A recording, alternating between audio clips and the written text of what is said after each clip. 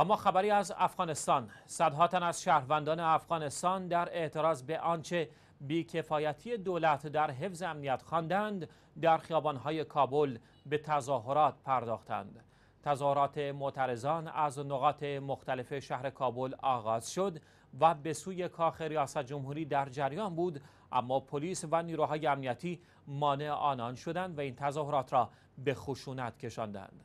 پلیس با شلیک هوایی گاز اشکاور و پاشیدن آب تلاش می کرد تظاهرات کنندگان را متوقف کند و این امر سبب درگیری نیروهای امنیتی و معترضان شد.